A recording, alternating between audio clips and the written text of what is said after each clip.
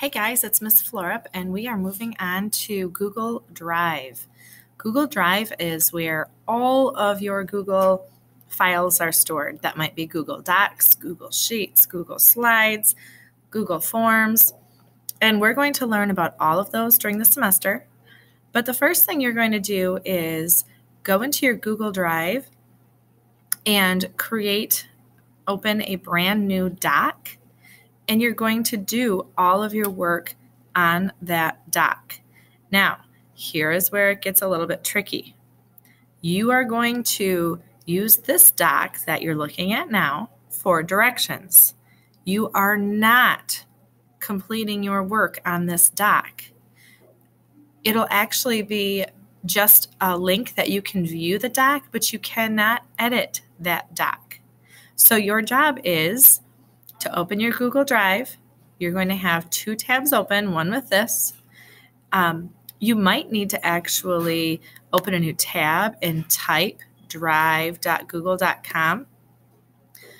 Open a new doc, select Google Docs. There are directions on what to rename it. And then it goes step by step what you need to do. You're going to have to type in your first and last name, change it to your favorite color, Write in complete sentences how you think using Google will make school different compared to not using Google. Write a question that you have for me about how we'll use Google Drive in our classroom. Then I'm going to ask you to open a new tab and type in our school website, which is found here, or you can actually click on it. I linked it for you.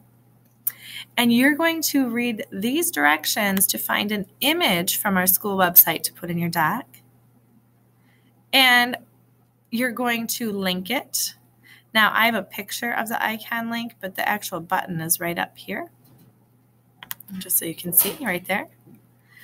And then when you're finished, you're going to actually share it with somebody at your table. It's okay if it's not your friend. It's okay if you don't even know the person, but you're going to share it, make sure they receive it in their email, and then you're going to wait.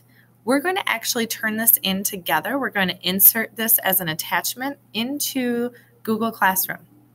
Most of the time in Google Classroom, you're going to get a copy given to you and you can just click turn in. This assignment will not be like that. This assignment, you're going to wait. We will do it together. If you have questions, ask at your table, ask me, and we will um, work through it together. Good luck and do your best.